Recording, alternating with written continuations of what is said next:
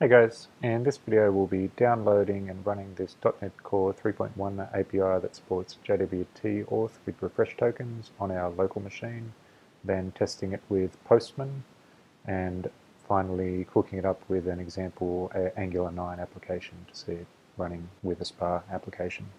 The tutorial with the steps that I'll be going through I'll link to in the video description so you can follow along. If your local machine isn't set up for developing .NET Core applications, pause the video and you can go through these steps here and install these tools. There's also uh, detailed posts with a video to show you through the steps on how to do that there. Okay, let's get started. We'll download our uh, code for our .NET Core API from GitHub. So jumping over to GitHub, a couple of ways you can get the code, either with uh, git clone or you can simply download the zip file. I'll just download the zip file. And jumping into downloads, Let's see I've done some testing here, so that's already there. And I'll extract the zip file there and extract it straight into the downloads folder. Okay, we can see we have our code there. And also uh, open up VS Code and open that folder. Here we can see all of our all of our project code there. Okay, let's jump back to the browser and see what the next step is. Alright, I'll open up a command line and run .NET run to start the application.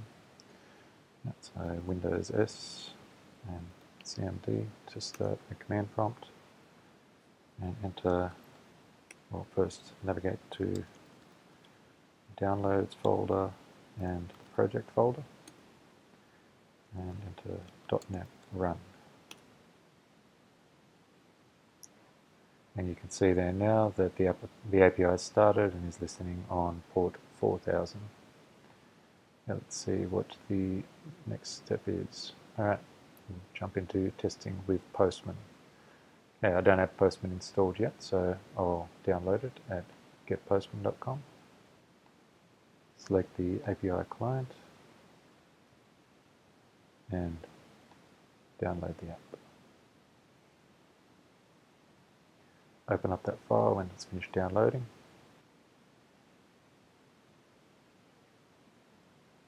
And we'll skip this section. So skip signing in by clicking down here. And now we're ready to go with Postman. Okay, jumping back to the browser. And how to authenticate to our API. So I'll open up a new request tab by clicking the plus button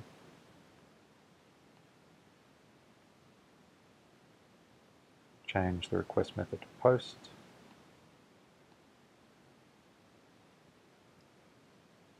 Enter the address to the authenticate route. Copy that there. And enter that there. Uh, select the body tab and raw, change the type to JSON for the body type. Then enter the username and password, which we can copy from here. There's a test user hard-coded in the API with username test and password test. So enter that, hit send.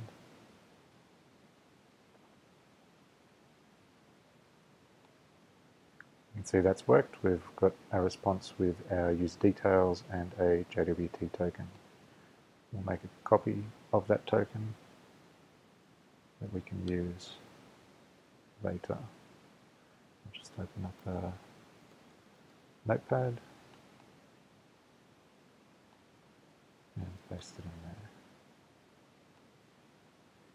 Okay, jumping back to the next step. The screenshots, which are what we saw. Uh, we can also check that we received a cookie back containing our refresh token. see cookies one, and there's our refresh token with our expiration date. And how to refresh a token with Postman. So we've performed our previous authenticate step to get that refresh token cookie. Now we'll go through the same steps. We'll open up a new tab and a post request and this time we'll be posting to the refresh token path and it'll be with an empty body. So jumping over to here, we'll open up a new tab, post requests to the refresh token path with an empty body. Um, at this with this request because we have the cookie in our in our browser, the refresh token cookie that will be sent with the request, which will uh, make the request successful and it'll send us back a new JWT token as we can see there, as well as a new refresh token that will replace the old one. So actually, this is the JWT token we want. The previous one, um, the previous one will still work for the, until it expires, but this is the new one, so we'll use this one with the tests going forward. Okay. Again, there's the screenshots, so that step has worked. Next, let's make an authenticated request with our JWT token to get a list of all users. This will be a GET request to the users route, and we'll be setting the authorization header to the JWT token. So I open up a new route to users a GET request. And just before I set the authorization so if I set it with no token and hit send see I get a 401 unauthorized response. If I grab our token from over here just copy that paste it in there send and there we get a 200 OK response and all of the users in the system, an array, which is just the one test user, which, uh, as I mentioned, is preloaded into the system for testing. Okay, let's jump back to the next step. Okay, we want to fetch all of our users' refresh token. Now, this is for auditing um, the list of refresh tokens for a user when uh, to check if there hasn't been any unauthorized access or any unusual activity. If you want to check uh, if any tokens need to be revoked, then um, you can check all of the authorization activity for a user by seeing their refresh tokens. So if we use the same get requests, you type the ID of the user, which is 1, and then refresh tokens, and we'll see all of this uses refresh tokens, which is the first refresh token from when we authenticated. We can see that this one is no longer active because it was replaced by our new, ref new refresh token when we refreshed it. So this first token was revoked when it was rotated out for the new refresh token. So currently we have uh, one active refresh token it also records the IP address, which currently is the local IP address of, uh, of our machine, which is also for auditing purposes. Uh, when a token is revoked, it also records um, the IP address that revoked the token and the date and time that it was revoked. Moving on to the next step. Let's, uh, let's finally revoke our refresh token so it can no longer be used to refresh uh, to, to get new JWT and new refresh tokens. So doing this, uh, what do we got here? So it's the it's uh, we'll be making a post request to the users slash revoke revoke token URL. Copying that URL make a new request, posting to revoke token. This needs to be an authenticated request, so we'll need to have our JWT token, which Postman already remembers, so it's pre-filled it in there. And the body is set to raw and JSON. Then we'll set the body to the token that we want to revoke.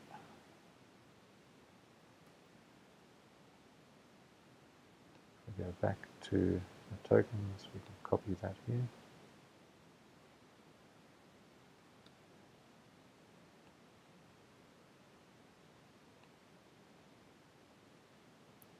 And paste that there. And if we submit that request, we can see that the token is revoked. If we go back and we fetch our fresh tokens again, we can see that it is no longer active and was revoked by our IP.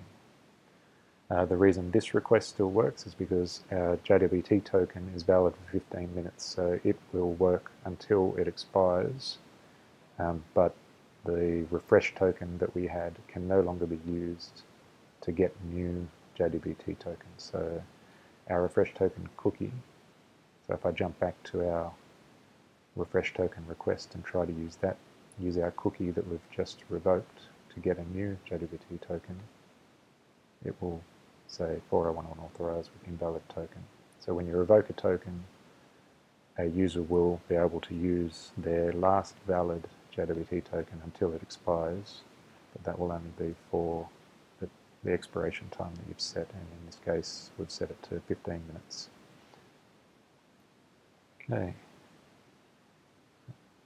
Also, with the revoke token route, you can hit that route without passing it, the token in the body. It can be sent uh, with, with an empty body, in which case um, the refresh token cookie will be revoked.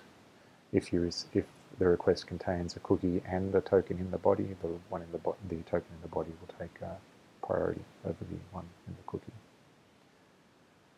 Okay, that's all the testing with Postman done. It's moving on to running an Angular app with the with the JWT refresh tokens API.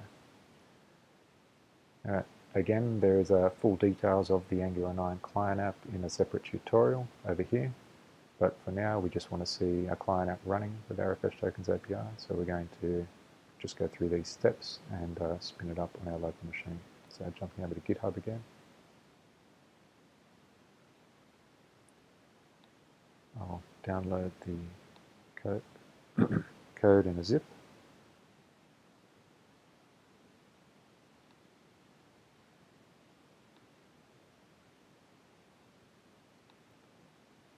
Extract it to the downloads folder. Then opening up a new command window.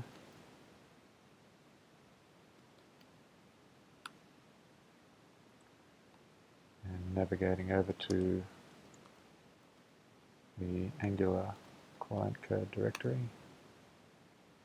Running npm install to install all of the dependent packages.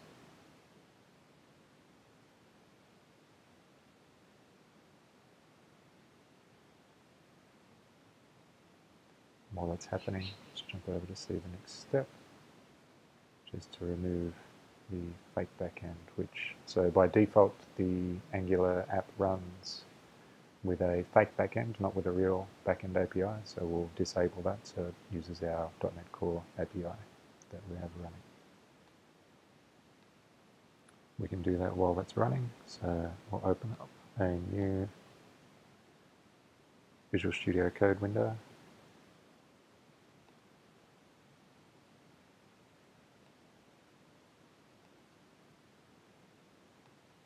Open up our Angular application. Jump down to source app, app module.ts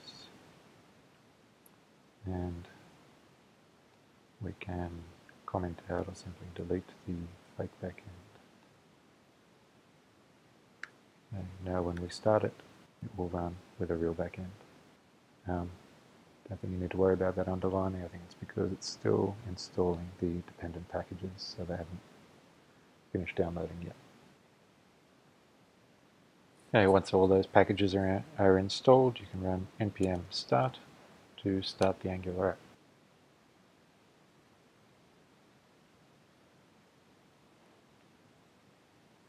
And that's a, it'll automatically launch, so you'll see it in our browser. If we open our DevTools,